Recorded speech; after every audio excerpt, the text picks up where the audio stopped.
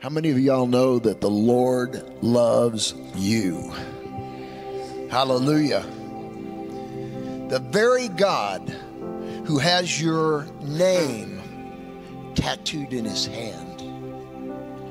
The very God who has you, you in his memory every single minute. Can you imagine? And that he sent his only begotten Son, flesh and blood, here on earth. Oh God, you're so wonderful. But one of the things he wants us to do is to examine ourselves. In 1 Corinthians 28, it says, But let a man examine himself, and so let him eat the bread and drink the wine.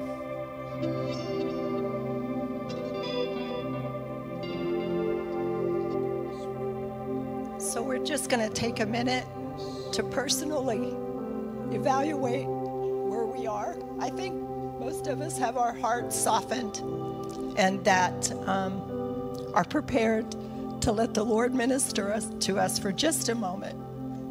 That, so just take a minute and we'll do that as Aaron keeps playing softly.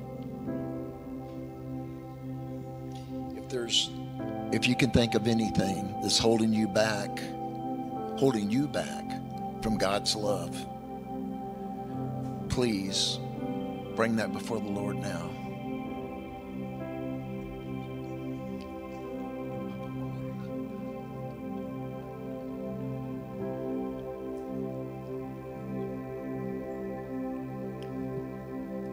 So, on the night that Jesus was betrayed, he um, took the bread and he said, Take, eat, this is my body.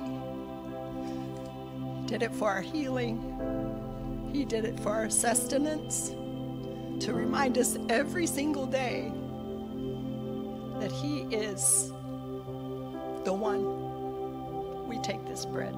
Thank you, Jesus.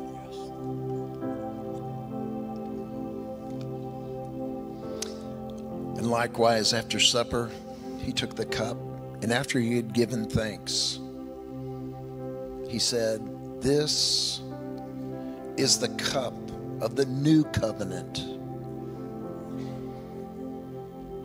in my blood. Do this as often as you drink it in remembrance of me.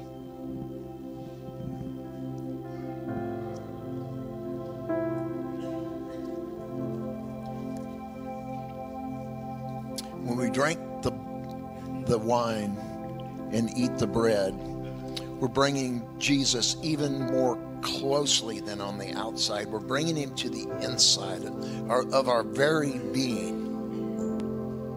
He wants you to know that he is part of you.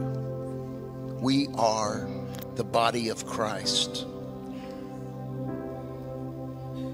And we can make a difference. We are his hands and feet. And we just thank him for the opportunity to serve him. Because the blessing in your life is serving him. That is what we need. In Jesus' name.